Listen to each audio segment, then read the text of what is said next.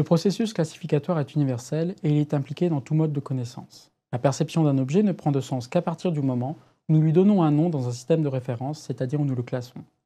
Chaque société, chaque groupe social au sein de cette société va mettre en ordre son environnement, va mettre en ordre la nature. Ainsi, à côté de la classification scientifique, il existe des classifications populaires. La classification scientifique a été instituée par Carl von Linné, naturaliste suédois.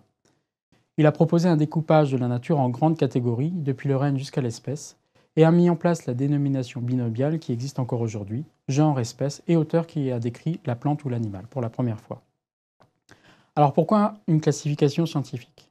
Tout simplement parce que les plantes ou les animaux peuvent avoir différentes dénominations. Ainsi, en France, Quercus robur, le chêne pédonculé ou chêne blanc, aura deux dénominations, deux noms communs et trois dénominations régionales ou locales. En Namibie, l'acacia rayoloba aura jusqu'à 13 dénominations, trois issues des langues des colons, allemand, anglais et afrikaner, et 10 dénominations locales issues de six langues namibiennes. La classification scientifique offre ainsi un cadre hiérarchique universel et exhaustif où chaque espèce n'est placée qu'à un seul endroit. Venons-en maintenant à la qualification populaire. Elle est au cœur des études menées en ethnosciences. L'ethnoscience a pour objet la connaissance de la nature détenue par les populations locales elles-mêmes. Si on devait retenir quelques grands auteurs à l'origine ou aux sources de cette ethnoscience, on pourrait citer Durkheim et Mauss, qui dans leur article de quelques formes primitives de classification ont montré que les Indiens d'Amérique du Nord et les aborigènes d'Australie découpent leur environnement en grandes catégories qui peuvent inclure aussi bien les clans des hommes eux-mêmes que des animaux, des plantes, des artefacts ou des phénomènes naturels. Conklin, en 1954, se revendiquera comme étant le premier à avoir mené une recherche en ethnosciences, une démarche en ethnosciences, et il met en évidence l'existence de classifications vernaculaires chez les Hanuno, peuple des Philippines.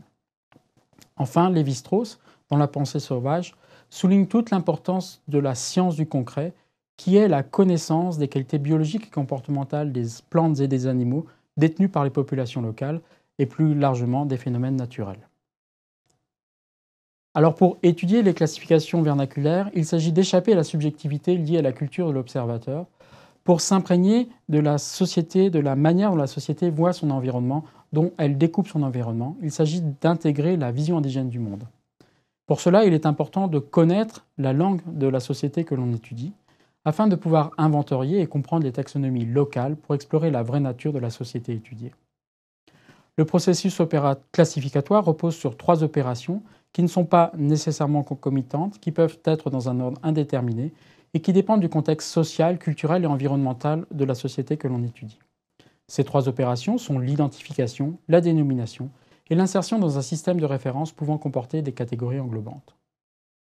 Si l'on revient à la comparaison entre classification scientifique et classification populaire, eh il est intéressant de constater qu'il n'y a pas nécessairement coïncidence entre les taxons populaires et les taxons scientifiques, et que d'un point de vue de l'organisation, s'il y a une hiérarchie dans la classification scientifique avec euh, chaque élément ne pouvant être qu'à une seule place, ce n'est pas la même chose dans la classification populaire. Par exemple, l'élément A3 sera à la fois dans une catégorie englobante A, mais pourra être aussi dans une catégorie englobante D, à côté de taxons différents d'un point de vue spécifique, tels que B et C. Et aussi dans la classification populaire, certains éléments pourront être non catégorisés et être seuls, tels, que l'élément X ici présenté. Venons-en maintenant à quelques exemples. Chez les pygméacas, en Afrique centrale, on a des éléments très intéressants sur la classification vernaculaire. D'un point de vue scientifique, papillons et chenilles sont classés de la même manière, appartiennent à la même genre, au même genre et à la même espèce, ici Imbrasia oyemensis. Pour les pygméacas, il y aura deux dénominations différentes, Kogongo et Mboyo. Ce qui est intéressant de constater chez les pygméacas, c'est qu'il existe différentes dénominations pour les chenilles, alors que les papillons seront tous nommés Kongongo. Une, comparaison intéressante avec la classification scientifique. Les pygmées font différence entre chenilles et papillons. Et si l'on va plus loin, les pygmées aka vont catégoriser, intégrer dans une même catégorie englobante l'ensemble des chenilles comestibles sous la dénomination Congo. Toujours chez les pygmées aka, ici trois animaux une chauve-souris, un écureuil volant et un oiseau. Eh bien, d'un point de vue scientifique, ces euh, trois animaux seront organisés, classés en deux grandes classes, d'un point de vue scientifique, oiseaux et mammifères, et se répartiront en trois ordres. Par exemple, pour l'oiseau, les, colombiformes ou les galliformes ou pour la chauve-souris, Kéroptère, et pour l'anomalure, les rongeurs.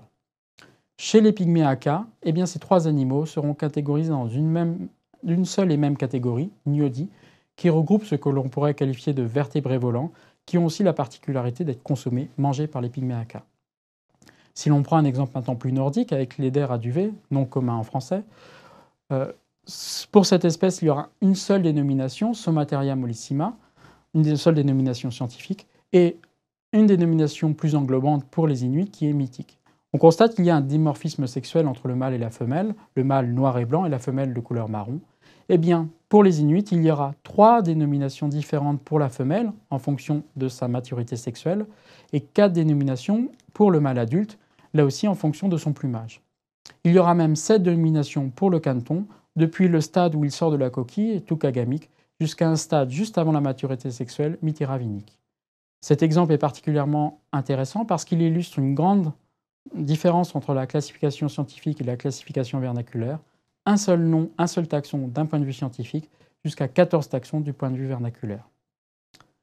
Ainsi, l'étude des classifications scientifiques et vernaculaires est particulièrement intéressante parce qu'elle montre que chaque société possède sa propre vision du monde, qu'elle va identifier les éléments qui constituent son environnement, qu'elle va les nommer et qu'elle va les insérer dans des catégories qui lui sont propres, ainsi, chaque société ou chaque groupe social va posséder sa propre représentation du monde.